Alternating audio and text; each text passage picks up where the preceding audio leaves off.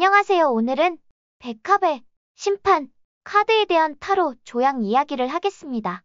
꽃의 본질이 운명의 구조와 얽혀있는 신비로운 땅에서 릴리 타로 카드는 순수한 변화, 재생의 등불로 떠오릅니다. 매혹적인 백합의 세계로 환상적인 여행을 떠나보세요. 푸르른 정원 위로 이동하는 동안 우리의 시선은 천상의 빛으로 꽃잎이 빛나고 있는 독특한 백합에 끌립니다. 이것은 평범한 꽃이 아닙니다. 직관, 숨겨진 지식, 신성한 여성성을 상징하는 고위 여사제 카드의 구체화입니다. 오래전 보이지 않는 세계에서 백합은 지혜와 통찰력의 빛을 전달하기 위해 천상의 존재들에 의해 선택되었습니다.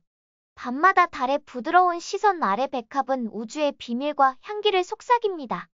달빛 아래 백합의 꽃잎이 부드럽게 흔들리는 모습이 마치 별들과 소통하는 것처럼 보입니다. 백합의 본질은 변화 중 하나입니다. 꽃이 진흙에서 피어 하늘을 향해 뻗어나가듯이 우리의 진정한 잠재력과 내면의 아름다움을 포용하고 도전해서 일어서도록 영감을 줍니다. 다양한 계층의 사람들이 백합 주위에 모여들고 각자는 백합에 빛나는 존재의 감동을 받으며 그 향기에서 인도와 위안을 찾습니다. 이제 릴리 타로 카드가 당신을 초대합니다. 그것이 당신 영혼의 숨겨진 통로를 통해 당신을 안내하여 자기 발견과 깨달음의 길을 밝혀주세요.